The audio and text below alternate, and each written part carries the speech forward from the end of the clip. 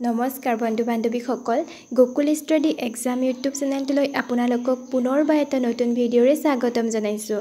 আজি আপোনালোকলৈ পুনৰ দহটা মক টেষ্ট লৈ আহিছোঁ। আগন্তুক ডি এম ই তৃতীয় আৰু চতুৰ্থ বৰ্গৰ লগতে অসমৰ বিভিন্ন প্ৰতিযোগিতামূলক পৰীক্ষাৰ বাবে কেইটামান গুৰুত্বপূৰ্ণ প্ৰশ্ন উত্তৰ। আশা কৰোঁ ভিডিঅ'টো শেষলৈকে চাব। আহকচোন আজি আমাৰ ভিডিঅ'টো আৰম্ভ কৰোঁ। আজি আমাৰ প্ৰথম প্ৰশ্নটো হৈছে which of the following Sikh gurus started the Gurmukh script নিম্নলিখিত কোনজন শিখ গুৰুৱে গুৰুমুখী লিপি আৰম্ভ কৰিছিল? ইয়াত তিনিটা অপশ্যন আছে তাৰে শুদ্ধ উত্তৰ হৈছে অপশ্যন খ Guru Angaddev next question which movement is known as August movement কোনখন আন্দোলনক আগষ্টৰ বিপ্লৱ বুলি কোৱা হয়?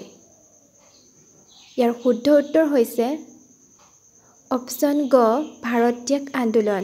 Next question the historian who came to Indian with Sultan Mahmud is Sultan মামুদৰ লগত ভাৰতলৈ অহা ইতিহাসবিদজন কোন আছিল?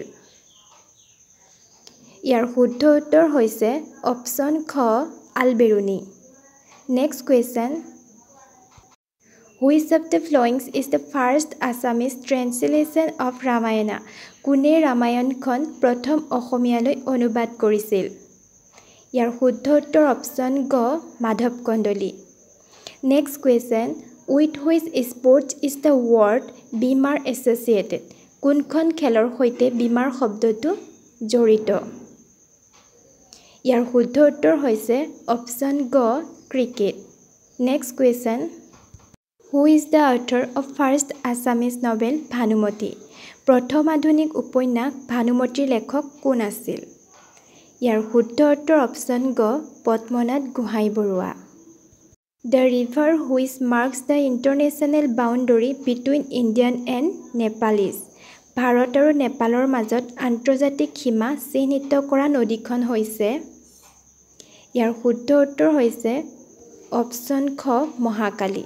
Next question who is the first Assamese to climb Mount Everest Mount Everest আৰোহণ কৰা প্ৰথমগৰাকী অসমীয়া কোন? ইয়াৰ শুদ্ধ উত্তৰ হৈছে অপশ্যন গ তৰুণ শইকীয়া। আজি আমাৰ শেষৰ প্ৰশ্নটো হৈছে city is called the sports capital of India কোনখন চহৰক ভাৰতৰ ক্ৰীড়া ৰাজধানী বুলি কোৱা হয়? ইয়াৰ শুদ্ধ উত্তৰ হৈছে অপশ্যন ক ভুৱনেশ্বৰ। বন্ধু বান্ধৱীসকল আজি ইমানখিনিয়ে আছিলে। যদি মোৰ ভিডিঅ'টো চাই ভাল পালে লাইক কৰি দিব আৰু চেনেলটোত যদি প্ৰথমবাৰৰ বাবে আহিছে ছাবস্ক্ৰাইব কৰি দিব আৰু কাষতে থকা বেল আইকনটো প্ৰেছ কৰি ল'ব নাপাহৰিব। পুনৰ এটা নতুন ভিডিঅ'ৰ সৈতে লগ পাম। ধন্যবাদ।